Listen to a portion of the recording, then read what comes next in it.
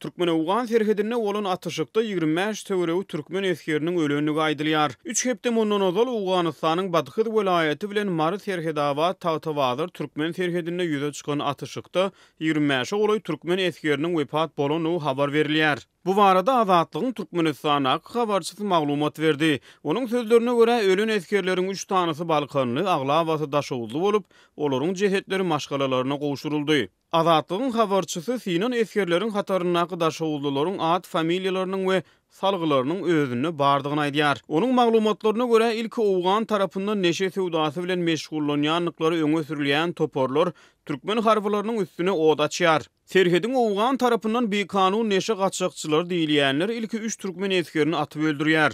Soňra serhet garnizonyndaky harbylar howsala yglan edýär we atyşyk başlaýar. Alty sagat dowam eden atyşykda onlarça türkmen esgeri ýaralanyp, ýigrimi bäş töweregi esger neşe söwdagärleri diýilýänler tarapyndan atylyp öldürilýär diýip, Azatlygyň habarçysy aýtdy. Türkmenistanyň howpsuzlyk gulluklary wepat bolan esgerleriň maşgalalaryna waka barada hiç ýerde dil ýarmazlygy tabşyrypdyr diýip, Azatlygyň habarçysy belledi. Azatlyk Radiosynyň Kabuldaky habarçysy Şaýmerdanguly Myrady Hususan-da, demirgazyk-günbatar Owganystanyň howpsuzlyk ýagdaýlary barada maglumat berdi.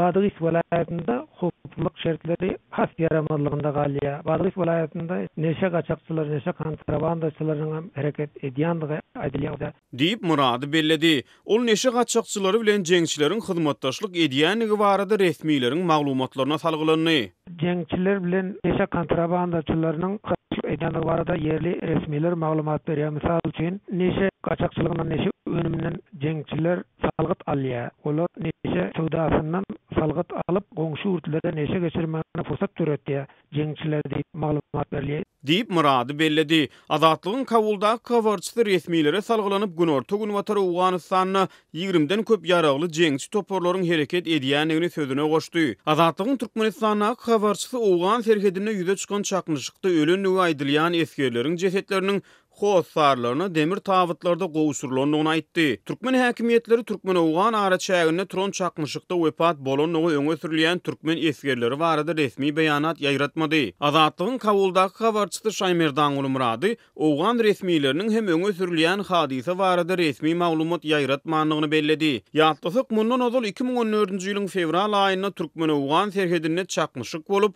üç türkmen esgeri wepat bolupdy.